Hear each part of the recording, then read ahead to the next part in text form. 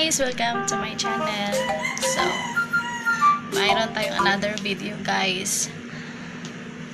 Kaya lang, ano, magsha-shoutout lang ako ngayon guys ha.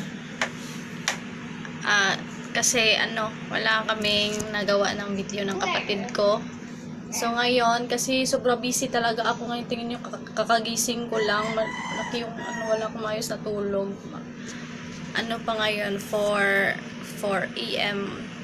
So, ayan guys. Magsha-shoutout lang ako sa ano last video na in-upload ko. Yun lang muna gagawin natin ngayon.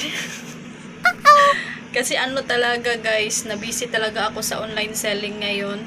So, ayan. Ano na lang. Suggest na lang kayo sunod kung ano yung maganda i ano, i ano po, i-vlog po.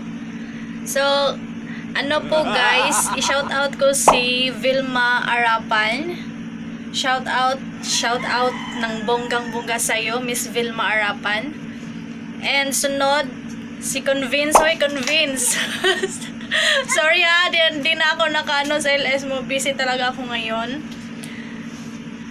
Next is si Axel Abdol.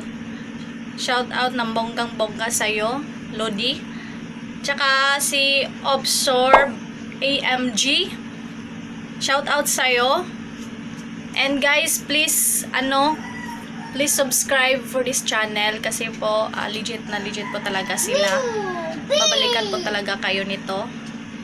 And shout out also to Louie Kubar Vlog. Shout out ng bongga sa'yo, sir.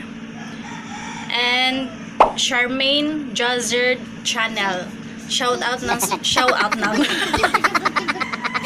Shout out sa iyo, ma'am. How are you po? And Kills Life TV. Shout out ng marami sa iyo. And also kay Bisaya Kubay. Shout out sa iyo. Nag-aasa mong ka, sir. So, ayan guys. Yan muna natin yung shout out ngayon. Sa sunod na, na video, kung sino yung mapapa-shoutout, i-shoutout ko kayo guys. And that's for.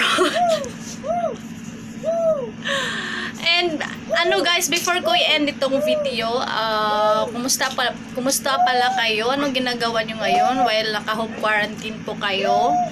And sana okay lang tayong lahat. Okay lang tayong lahat. And sana okay po kayo. Keep safe always po. And ano ba? Nanga ano yung kamay ko. Ah.